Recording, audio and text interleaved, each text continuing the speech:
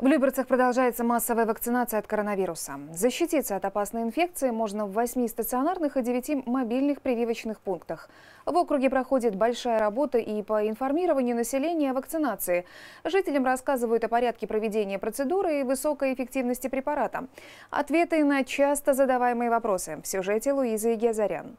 Можно ли делать прививку от COVID-19 людям, страдающим хроническими заболеваниями? Этот вопрос входит в число самых распространенных и важных. По словам медиков, вакцинация недопустима только при обострении недуга. Во время ремиссии укол делать можно, но только с разрешения лечащего врача.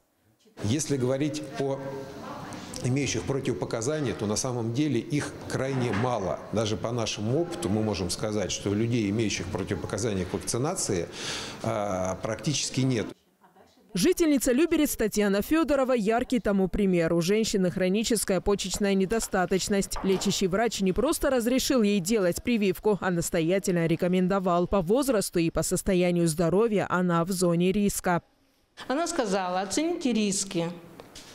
Значит, э, что будет, если вы заразитесь, и как это повлияет на ваш организм. И решайте сами.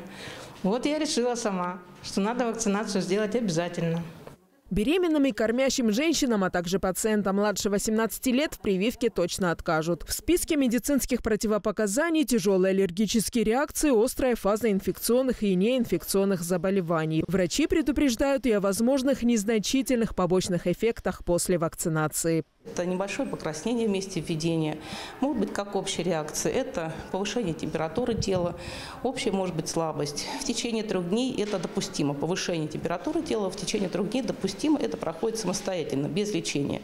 Если более держится температура, то тогда необходимо обратиться э, к доктору. Но у нас таких случаев не было, потому что вакцина реально переносится очень легко. Эффективность препарата тоже исследована и доказана. Она составляет более 91%. Это один из самых высоких показателей в мире. Мы имеем множество примеров, когда нам приезжают иностранцы именно для того, чтобы вакцинироваться, потому что вакцина не везде э, имеет, такую же доступность, как у нас далеко не во всех странах мира.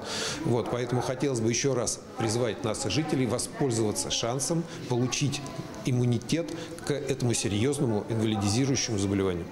Сделать это можно до 1 июня текущего года. В настоящее время в городском округе Люберцы вакцинировано более 13 тысяч человек. А для выработки коллективного иммунитета необходимо привить в 10 раз больше. Врачи уверяют, прививочных пунктов и запасов вакцины в округе достаточно. Остается только принять решение. Луиза Игязарян, Сергей Гвоздев, телеканал ЛРТ.